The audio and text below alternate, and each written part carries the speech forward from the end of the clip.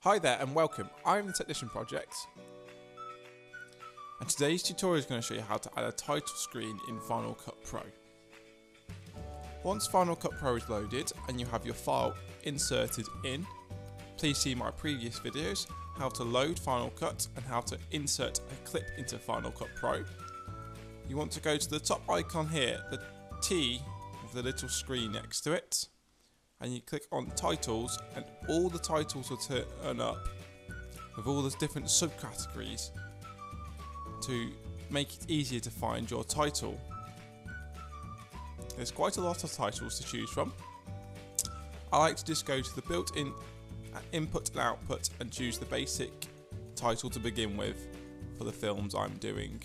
Click and drag your title into the timeline at the bottom double click on your title text and you can change it. I'm just changing my title text to this is the technician project.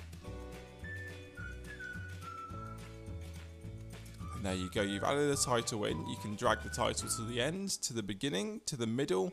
You can keep adding titles in. If you enjoyed the video today, please leave a like rating and subscribe for more. Thank you for watching and see you next time.